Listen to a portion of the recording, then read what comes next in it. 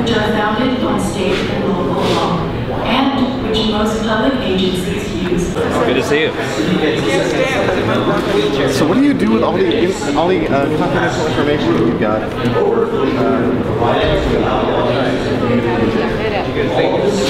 I'm Geraldine Blueford. I don't need the mic. I'm just going to say this. You all are here, city council run the city. You see why there is a separation between the community and the city officials. It's because you will not let us have a word. And you turn your back or put your heads down as if we don't matter. You all, if you don't have kids, then you're lucky Yeah, because you won't ever have to to say something. go and something. bury your kids. My son is gone. I'm standing here before you begging you three or four times asking you for help. You told me you'd help me. You told me don't worry about it. Give you a call. I come back. I don't have nothing. I don't have a police report. It summarized a com- uh, coroner's report.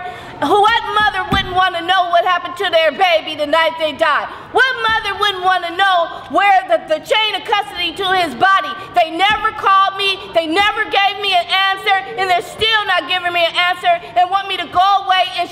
And not say anything. And when I get up to speak and look at you in your eyes, you can see the pain in my eye. My heart is broken, but you can put your head down and turn away from me and act like it don't matter. Alan is gone. He's not coming back. But uh, he can't speak for himself. But I'm here to speak for him. And I want his report. I'm his mother. That's my right to know what happened to my child.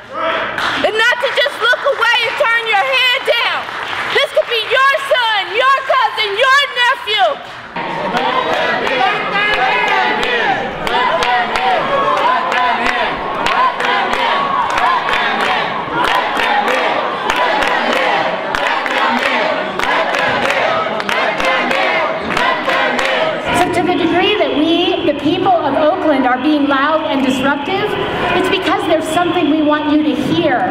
You are elected to hear from us. You are dressing the wound of our people too lightly. Yes, city council business is important. But what we want you to hear is that city business, to some degree, is killing us. Your officer that the city of Oakland hired, Officer Masso, had already been involved in a abusing an inmate in a prison where the New York Police Department was, was sued.